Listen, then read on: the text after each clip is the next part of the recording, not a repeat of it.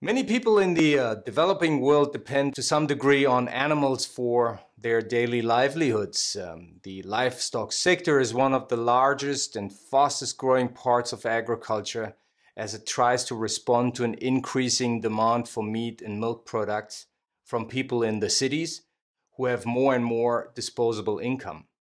This presents great opportunities for economic growth and for bettering the overall food security situation of rural and peri-urban livestock keepers.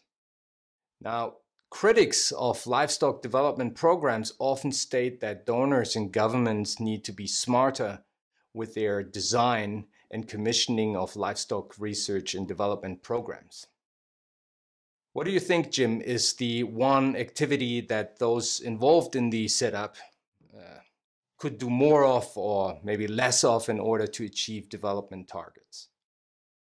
Well, thanks for the question and thanks for this opportunity. Um, I think the, the, the, key here is that donors, governments, uh, private sector partners all need to take um, a highly integrated approach to dairy value chain development.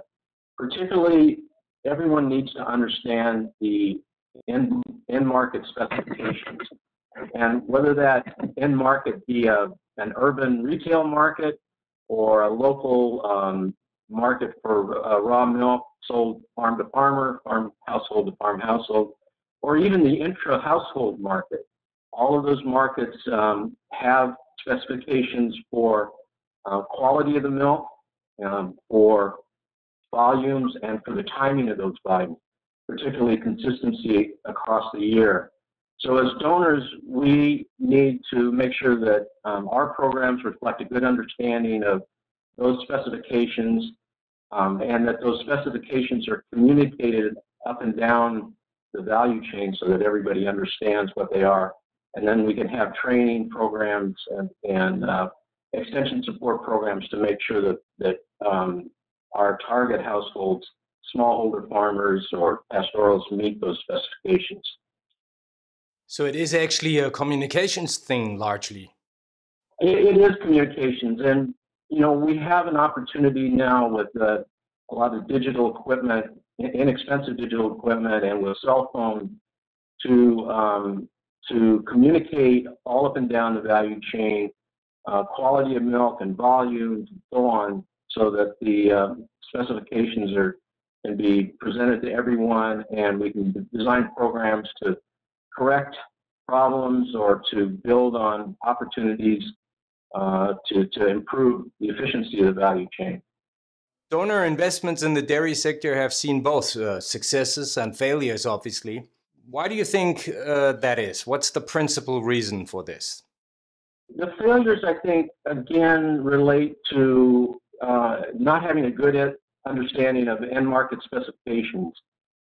So, a successful competitive dairy value chain really requires three under uh, underpinning kind of uh, uh, conditions. First of all, you have to have high efficiency at all along the value chain, including at the producer level, at the household producer level. And that means um, well-managed animals, well-managed cows, uh, good quality feeds, um, good efficiency in terms of uh, individual cow production and the uh, the production income, uh, you know, against cost.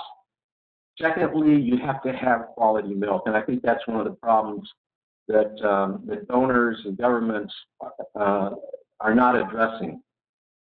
End markets require quality milk. If you have problems in your milk, it's going to create problems for processors. It's going to create problems for retailers, and you can't build a national identity for quality milk, and that lowers your competitiveness.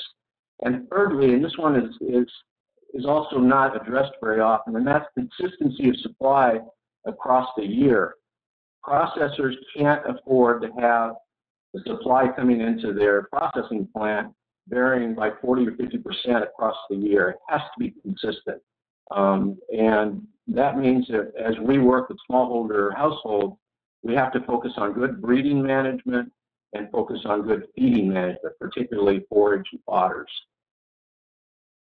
Now, donors, funders, governments go out and encourage companies to invest in livestock and dairy development projects by employing profit or social responsibility criteria to justify that involvement.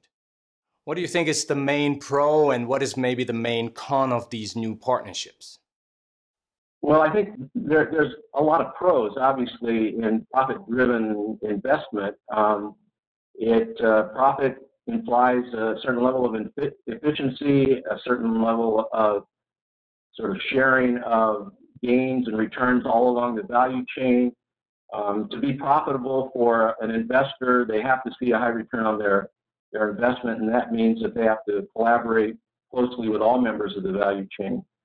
The cons I see, particularly for social investing, the, the, the cons will be if we overlook some of these fundamental, basic um, conditions that have to exist in a competitive, efficient value chain. Again, that's productivity at the producer level, quality of milk, not just uh, contaminants, but also the, uh, the level of desirable constituents, fat and protein, and then consistency across the, the year, which we don't uh, we don't do focus enough on, and that that gets to uh, animal feeding, uh, livestock feeding, cow feeding, and, and so on.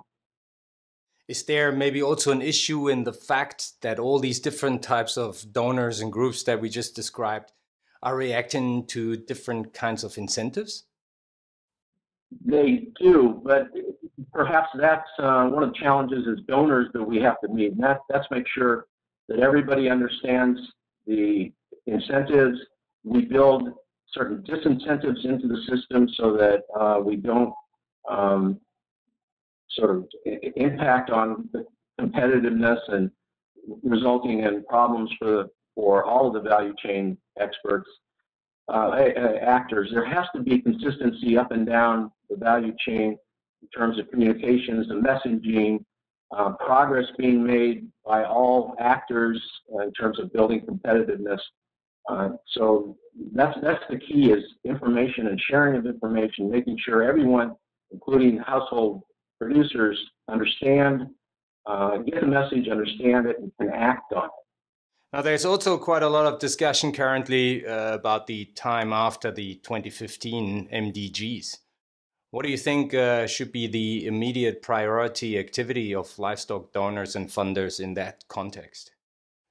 What we see in, in all developing countries is a rapid uh, rising rate of urbanization. And we know that urbanization creates demand for animal source foods, dairy, meat, eggs, poultry, and so on.